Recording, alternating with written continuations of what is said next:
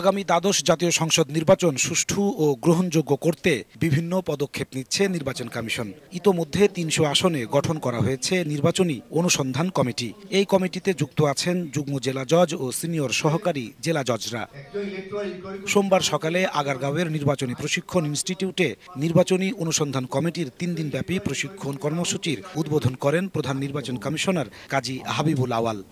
গণমাধ্যমের অনুষ্ঠানে প্রধান অতিথির বক্তব্যে সিইসি বলেন, বাংলাদেশের নির্বাচন নিয়ে বিদেশিদের থাবা দুর্ভাগ্যজনক। তাই দেশের অর্থনীতি, জনগণ ও পোশাক শিল্প রক্ষায় নির্বাচন অবাধ, সুষ্ঠু ও গ্রহণযোগ্য হতে হবে। আমরা একটি ফ্রি ফেয়ার এবং ক্রেডিবল ইলেকশন চাচ্ছি। আমাদের নির্বাচনে কিন্তু বাহির থেকেও থাবা হাত এসে পড়েছে। আমাদের অর্থনীতি, আমাদের ভবিষ্যৎ আমাদের অনেক কিছুই রক্ষা করতে হলে এই নির্বাচনটাকে ফ্রি ফেয়ার ক্রেডিবল করতে হবে। অটোমেটিক বিকাশ করতে সেট করুন অটোপে বিকাশ থাকলে আর কি লাগে?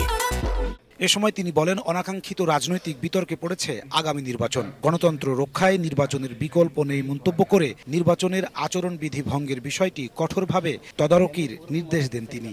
সিল মারাটাও কিন্তু আমাদের নির্বাচনের সংস্কৃতির একটা অংশ হয়ে গেছে এটা মন্দ সংস্কৃতি। আমরা নিরন্তর চেষ্টা করছি প্রতিশ্রুতি দিয়েছি যে নির্বাচনকে অবাধ নিরপেক্ষ বিশ্বাসযোগ্য করার জন্য নির্বাচন কমিশন যথাসাধ্য চেষ্টা করবে। তিন দিনব্যাপী প্রশিক্ষণের প্রথম দিন অংশ নেন নির্বাচনী অনুসন্ধান কমিটির একশো পাঁচ জন সদস্য। পরিবেশ।